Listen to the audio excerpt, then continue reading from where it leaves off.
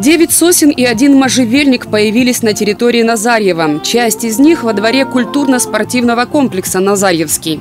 Акцию по высадке деревьев провела областная общественная организация инвалидов «Движение». Ее председатель Владимир Песковец много лет профессионально занимается ландшафтным дизайном. Пересаживать деревья зимой – это агротехнически правильно, уверяет он. На самом деле посадки можно с э, большим комом земли производить зимой, а в некоторых случаях хвойные деревья даже лучше пересаживать зимой, поскольку э, в замерзшей ледяной земле вся корневая система сохраняется, и пересадочного стресса э, растение не испытывает. Перспектива жизни этих деревьев 100-150 лет, говорят общественники. Помощь в проведении акции им оказали сотрудники культурно-спортивного комплекса «Назарьевский».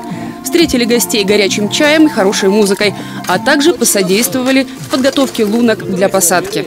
Ну, приветствуем вот это вот хорошее начало, инициативу, когда люди продолжают жить активным, здоровым образом – и социализируются, несмотря на ограничения по здоровью. Мы все это дело приветствуем, и хорошо, когда жизнь продолжается. Такие акции общественная организация «Движение» уже провела в Одинцове, Барвихе, Успенском и Горках-10. На этом активисты останавливаться не планируют. Собираются проводить озеленение и в других точках округа, улучшая тем самым экологическую обстановку. Елена Кравченко, Станислав Трифонов, телекомпания «Одинцова».